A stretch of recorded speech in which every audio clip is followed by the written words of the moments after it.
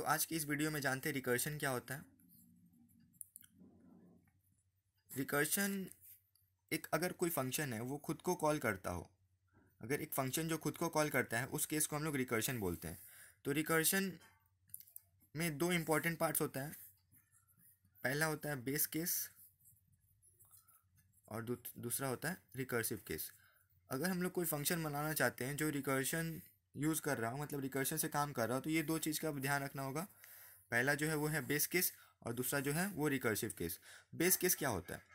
Base case वो case होता है जहाँ पे हम लोग का रिकर्शन ब्रेक हो जाता है। मतलब कि उसके बाद, वो केस के बाद हम लोग का वापस फ़ंक्शन कॉल नहीं होगा। और रिकर्सिव केस वो केस होता है जहाँ पे हम लोग का फ़ंक्शन वापस बार बार कॉल होता है इन्वोक होता हो। तो ये जो बेस केस है वो बहुत ही इंपॉर्टेंट है, क्योंकि अगर बेस केस गलत हो गया मतलब कि तो रिकर्शन कभी ब्रेक ही नहीं होगा, उस केस में क्या हो जाएगा? इन्फिनाइट रिकर्शन हो जाएगा। और ये हम लोग जानते हैं कि रिकर्शन जो होता है, वो स्टैक इम्प्लीमेंटेशन पे है मतलब कि लास्ट इन फ़र्स्ट आउट तो इसी बेसिस पे रिकर्शन काम करता है। जानते हैं एक एग्जांपल फैक्टोरियल कैलकुलेट करना है एक नंबर का। अगर कोई भी एक नंबर का फैक्टोरियल कैलकुलेट करना है तो हम लोग उसको इटरेशन से भी कर सकते थे। तो इटरेशन से कैसे करेंगे? इटरेशन से हम लोग फॉर एग्ज़ाम्पल एक लूप चलाएँ सॉरी वन से।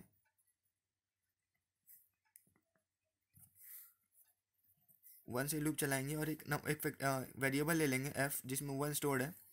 वन इनिशलाइज है और एफ़ में आई को मल्टीप्लाई करते जाएँगे। तो ये हो गया, ये इटरेशन मेथड हो गया हम लोग का फैक्टोरियल निकालने का। ये बहुत ही सिंपल था और एक और एक चीज़ यूज़ कर सकते हैं हम लोग रिकर्शन यूज़ कर सकते हैं फैक्टोरियल कैलकुलेट करने के लिए। तो उस, वो कैसे यूज़ करेंगे?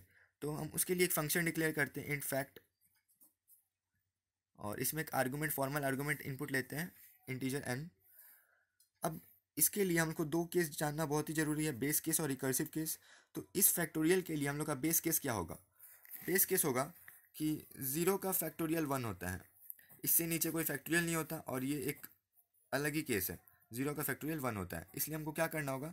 यही हमको बेस केस में देना होगा। मतलब कि अगर कोई यूज़र इनपुट देता है एन में ज़ीरो तो हमको क्या इनपुट आउटपुट देना है? रिटर्न करना है हमको वन क्योंकि ज़ीरो का फैक्टोरियल वन होता है। तो वही हो जाएगा हम लोग का बेस केस तो हम लोग लिखते हैं base case if N is equals to equals to zero तो हम लोग को रिटर्न करना है वन एल्स हम लोग को रिकर्सिव केस अब करना है। तो रिकर्सिव केस में क्या हमको रिटर्न करना है? Return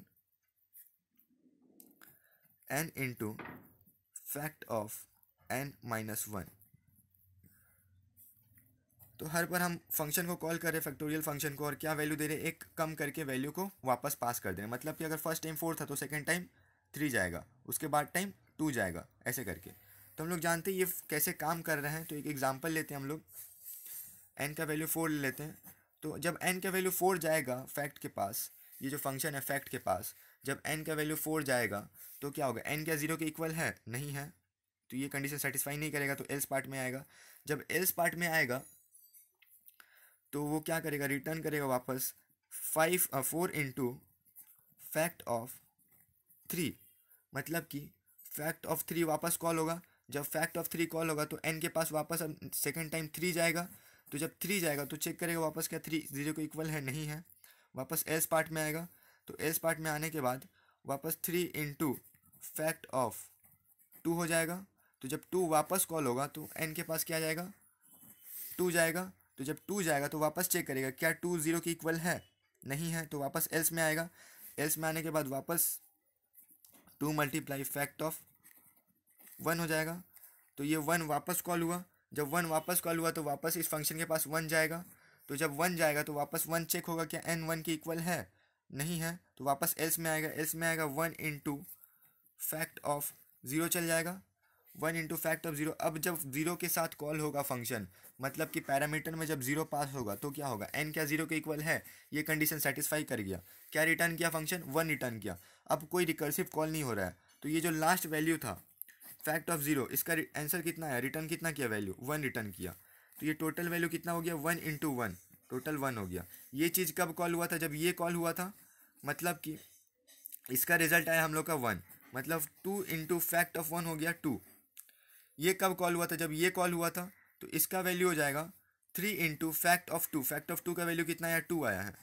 तो three into two that is six अब ये ये कब कॉल हुआ था? जब ये कॉल हुआ था मतलब कि फैक्ट ऑफ़ थ्री का वैल्यू है सिक्स तो six into four that is twenty four तो हम लोग का जो फ़ंक्शन है फैक्ट वो रिटर्न कर देगा लास्ट में ये वैल्यू तो हम लोग देखें कि जो लास्ट में वैल्यू आया था फैक्ट जो लास्ट में कॉल हुआ था फ़ंक्शन फैक्ट ऑफ़ ज़ीरो वो सबसे पहले सॉल्व हुआ क्योंकि ये स्टैक पे काम करता है सिंपली ये लास्ट में इन इन हुआ था तो फ़र्स्ट में आउट हो गया, उसके बाद ये, उसके बाद ये, उसके बाद ये। तो हम लोग का फ़ंक्शन रिटर्न किया ट्वेंटी फोर तो यही था आज के क्लास में। Thank you like share and subscribe my channel for new and latest videos